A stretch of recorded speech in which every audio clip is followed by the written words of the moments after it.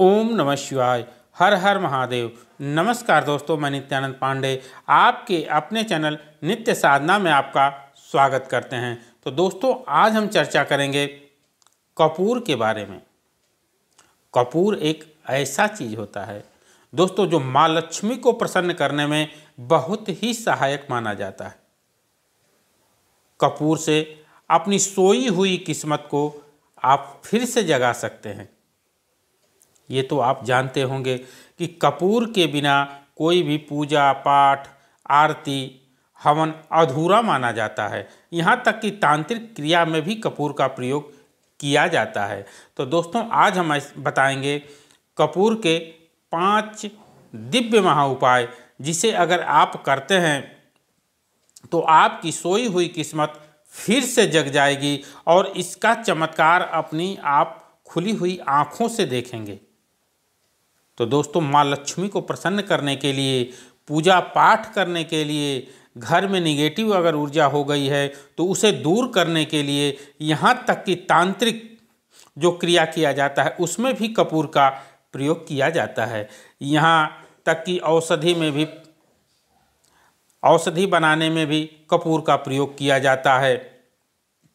घर में अगर नकारात्मक शक्तियाँ अगर बढ़ जाती हैं तो अगर आप कपूर जलाते हैं सुबह शाम को अगर कपूर अपने घर में जला करके अगर घुमाते हैं तो नकारात्मक ऊर्जा आपके घर से दूर भाग जाती है। घर के मुख्य द्वार पर अपने, अगर घर में सुख शांति नहीं है, घर में आपके घबराहट होती है तो घर के मुख्य द्वार पर अगर आप कपूर जल में मिला करके अगर छिड़कते हैं तो इसका लाभ आपको तुरंत देखने को मिलेगा और घर में सुख शांति बनी रहेगी। कपूर के बिना आरती हवन, फिर से मैं बताना चाहूँगा, कि आरती हवन को भी अधूरा माना जाता है। तो दोस्तों, वह कौन से उपाय हैं? देखिए दोस्तों, कपूर की ध्वनि, अगर सुबह शाम अपने घर में, पूरे घर में अगर आप केवल उसे घुमाते हैं उसको जलाते हैं तो आपके घर में सुख शांति बनी रहेगी। पैसों की किल्लत दूर हो जाएगी, घर से नकारात्मक ऊर्जा दूर चली जाएगी। दूसरा चीज़ बताना चाहूँगा दोस्तों, अगर घर में आपके निगेटिव ऊर्जा ज़्यादा हो गई है, आप परेशान हैं, पैसों की किल्लत है, घर में लड़ाई झगड़े हो रहे हैं तो आप इस उपाय को ज़रूर करिएगा। गंगा जल में थोड़ा सा एक टिकिया, दो टिकिया आप ऐसे बुरादा जैसे बना लें और कपूर को डाल लें। गंगा जल में डालने के बाद में उसे अपने घर के मुख्य द्वार पर उस जल को ज़रूर छिड़कें और उसके बाद पूरे घर में उस जल को अगर छिड़कते हैं तो आपके घर में सुख शांति बनी रहेगी और निगेटिव ऊर्जा दूर होगी। दूसरी चीज़ बताना चाहूँगा दोस्तों, अगर कभी कभी आप देखे होंगे, हमें प्रेशर बढ़ जाता है, सर हमारा भारी रहने लगता है, गुस्सा आता है, अगर किसी का नज़र हमारे ऊपर लग गया है तो आप एक काम करें, कपूर का तेल ले लें। मार्केट में कपूर का तेल मिलता है, कपूर का तेल ले लें।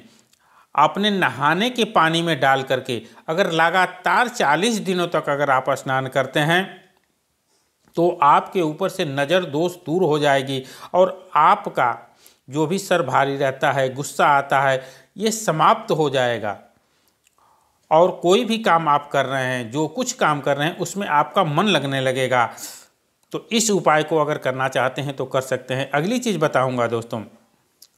पति पत्नी के बीच अगर अनबन रहती है, शुक्र ग्रह आपका कमज़ोर हो गया है तो आप एक काम करें, एक पान का पत्ते ले लें।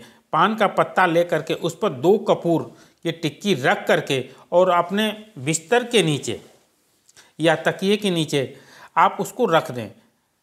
और उसको कम से कम एक हफ़्ते तक रहने दें। उसके बाद उसको हटा करके पान की पत्ती सूख गई होगी, उसको निकाल करके और कपूर को उसको रविवार के दिन उसको निकालें और उसको जला दें।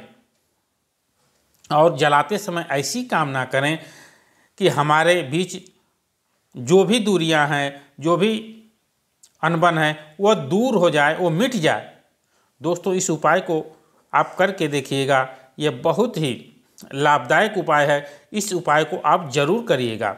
दूसरी चीज़ बताना चाहूँगा, काम में अगर बार बार रुकावट आ रही है,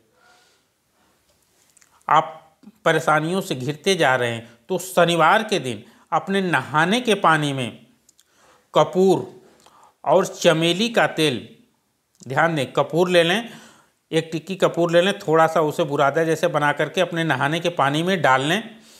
और चमेली का तेल दो चार बूंद उस पानी में डाल लें और इसके बाद उस पानी से आप स्नान करें। अगर ऐसा करते हैं तो आपका शनि दोष भी दूर होता है और आपके जीवन में आ आने वाली जो भी रुकावटें हैं, वह दूर हो जाती हैं। माँ लक्ष्मी की कृपा आप पर सदैव बनी रहती है। तो दोस्तों, इस उपाय को कर लें। घर में अगर वास्तु दोष है अगला चीज़ मैं बताऊँगा दोस्तों, अगर घर में वास्तु दोष है तो वास्तु दोष के स्थान पर एक कटोरी ले लें। कटोरी में थोड़ा सा कपूर, दो टिक्की, चार टिक्की, उसमें डाल दें और वहीं पर उसके रख दें। आपको कुछ नहीं करना है, रख दें।